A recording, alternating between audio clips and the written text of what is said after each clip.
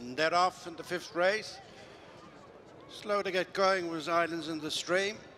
And this forerunner, Goffs Vincent O'Brien National Stakes Group 1.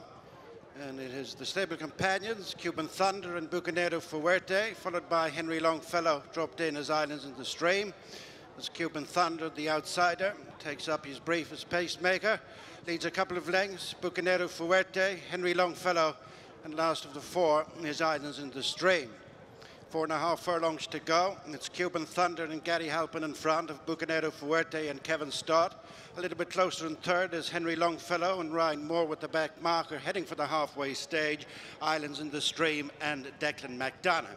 It's Cuban Thunder continuing to cut out the running and extends the advantage with three to run from Bucanero Fuerte, who impressed big time here in the Group 1 Phoenix, with Henry Longfellow making good ground in between horses and then Islands in the stream. Racing to the final two furlongs, the picture is changing as Henry Longfellow strikes the front from Bucanero Fuerte. After them is Islands in the stream, dropping right out of contention is Cuban Thunder. Henry Longfellow, twice a winner in as many starts.